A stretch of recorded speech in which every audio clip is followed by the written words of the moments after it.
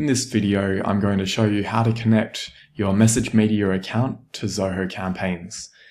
You'll log into your MessageMedia Hub account and then under Configuration API Settings, under Basic Authentication, you'll make a new API key. You can give it a name and then copy what it will give you there.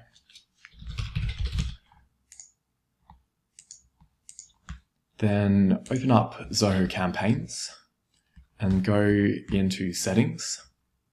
You go Integrations, Apps, and then under MessageMedia, you'll click on Connect. Then you'll copy the API key in the API key section and the secret into the secret area. And that will now be set up appropriately. So with that done, you can now do SMS campaigns using your MessageMedia account.